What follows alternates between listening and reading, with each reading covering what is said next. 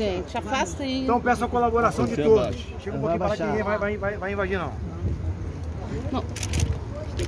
Tudo bem, gente? Boa tarde. Boa tarde, boa tarde. Essa mão aí, Um, só um minutinho.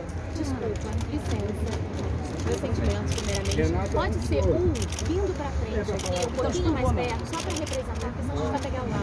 Vai mexer um mesmo? pouquinho mais pra frente. Desculpa, tá, Tá bom aí, Calma, pessoal? Um momento super chato. O. Melhor pra vocês. Vamos lá. Entra aí, entra aí. Essa aí, gente. Entra aí. Vamos lá. Só deixa o microfone. Todo mundo pronto, vamos lá. Boa tarde. Óbvio que todos nós não queríamos estar nesse lugar, nesse momento, com essa situação. É, o molejo é sinônimo de alegria, muito mais representado pelo nosso cantor, o Anderson.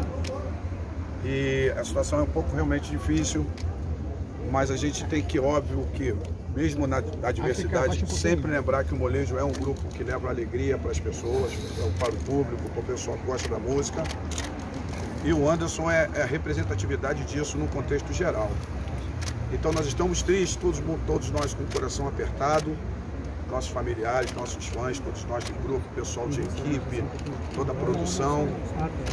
Mas não podemos deixar de lembrar que o Anderson é a alegria personalizada como pessoa e ele conseguiu transmitir isso durante esses anos todos com a gente, no trabalho que nós desenvolvemos juntos desde o início, desde o começo, desde 1989, 93 com discografia, com todas as adversidades que tivemos.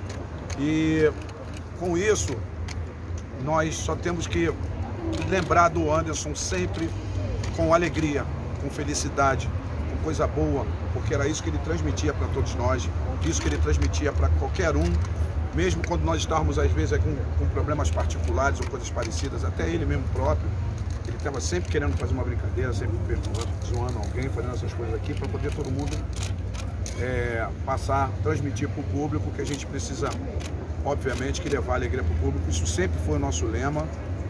A música transmite isso e a gente sempre precisou fazer isso para os outros, para todos E, e você sabe que nesse momento a África toda está tocando música do Anderson do Grupo Molejo, né? Sabe disso ou não? Não, isso é muito bom, porque vem as raízes da nossa música, né? E pra gente é uma, uma honra, porque o molejo já visitou alguns outros países, mas infelizmente ainda não tivemos a possibilidade de ir na África. Mas de qualquer maneira já estamos sendo representados com a música tocando lá, isso pra gente é importante também. Andrezinho, eu gostaria de saber sobre esse novo trabalho que vocês conseguiram gravar com o Anderson ainda no tratamento, Paparico do Molejo. Vem aí no segundo semestre, o que que você pode adiantar? Músicas inéditas, releituras, quem participa? É um legado, é um grande trabalho que vem aí no segundo semestre. Fala um pouquinho pra gente. Exatamente, tem o Paparico do Molejo que nós gravamos. Gravamos com participações, várias participações de vários amigos, amigos que foram criados com a gente, criados com o Anderson. É, como, como Xande de Pilares, como Dudu Nobre, como o Tiaguinho, que participou também. Nós tivemos um problema no, de logística no dia, no dia oficial da gravação com a chuva, a tempestade, papapá. Passamos para o segundo dia e todos os artistas se prontificaram a ficar para poder participar do segundo dia de gravação. E graças a Deus foi muito bom. E é um projeto que nós estamos guardando com o maior carinho do mundo para quando tiver tudo bem certinho, tudo bem tranquilo no momento certo, ele vai ser colocado para todo mundo curtir também, porque era um sonho dele fazer o Paparico do Molejo e nós conseguimos fazer. Daqui a pouco estará nas ruas aí para todo mundo curtir. Como é que foi a participação do Anderson durante as gravações? Como é que foi todo esse, esse preparo? Ah, o Anderson ele é sempre, ele sempre foi muito imperativo, sempre foi muito líder, ele sempre foi muito na frente, né? Então ele está sempre é, com dois passos na frente, ele está sempre pensando no anterior. E ele dirigiu praticamente tudo, ele faz as condições é, harmônicas, as- os arranjos, muitas coisas. Nós regravamos muitas coisas do molejo, tem músicas novas também, mas com uma leitura nova de algumas coisas antigas. E ele sempre participando, ativo, não queria deixar de gravar na sexta-feira mesmo, assim não foi.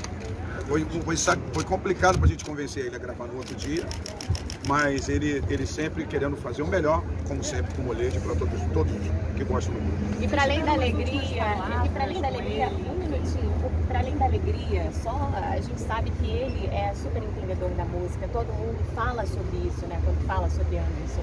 É, então esse legado ele vai além dessa alegria, né? O Anderson sabia muito de samba. Enciclopédia, né? Todos, todos chamavam o Anderson de enciclopédia.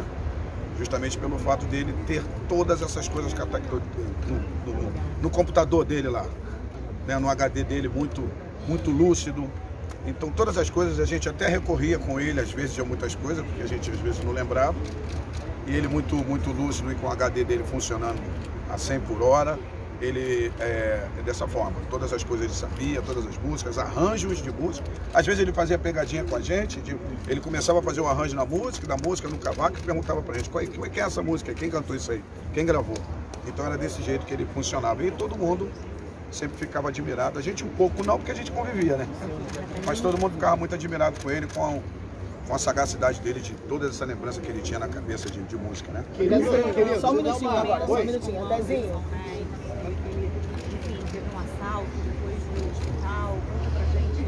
no momento difícil ainda tem que enfrentar é, a violência na cidade.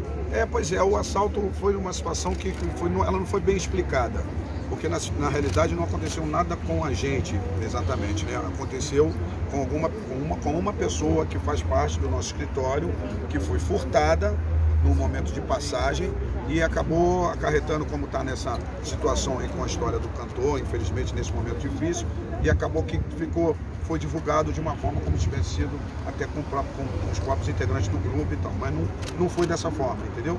É, aconteceu com, com, com, nesse fluxo aí.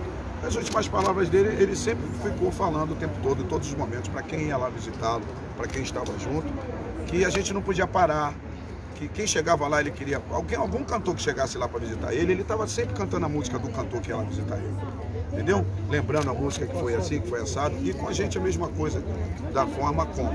Precisamos manter o legado, o molejo precisa continuar fazendo o que nós iniciamos juntos, e a gente vai fazer isso em nome dele, em nome de todos nós, em nome dos fãs do molejo, porque a gente ainda tem esse projeto para mostrar para o povo, que é o Paparico do Molejo, e muitas outras coisas em homenagem muito ao Anderson também. E vocês deram